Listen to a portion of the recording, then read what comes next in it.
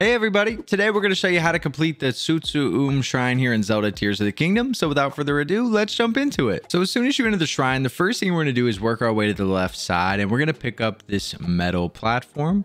It's got the little nail in it and we're going to stick this into the moving wall here while standing on it. And that's going to lift us up to where we can jump across. Now, once we get across, we want to grab a chest that's on the platform beside us. So we're going to use Ultra Hand to grab that once again. We're going to bring it right over here and stick it in this wall. Now you'll see I kind of messed up here at first. I put it a little too low. You want to put this high enough to where we can ascend through it and get to the top to reach the chest. So we'll move this up.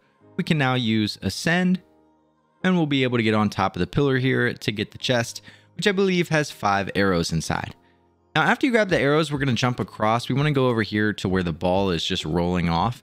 We're going to grab one of the nails that's in the wall on the right side here, and we want to stop this thing from moving so that we can send the ball down uh, toward the circle. So we're going to stick it in the wall right here so that we have a little ramp.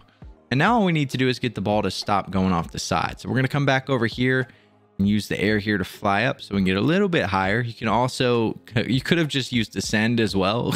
but once you get up here, we're just going to take uh, the nail and we want to place this right to where it's going to stop the ball. So we'll put it in the wall right here.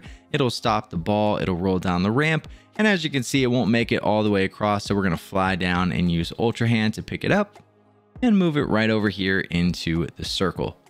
Once you drop that into the circle, it's going to open the final door. And now all we need to do is use Ascend to get up on top so that we can jump across. So we'll use Ascend right here. We'll get on top of the gate. And now we can jump across to the end of the shrine.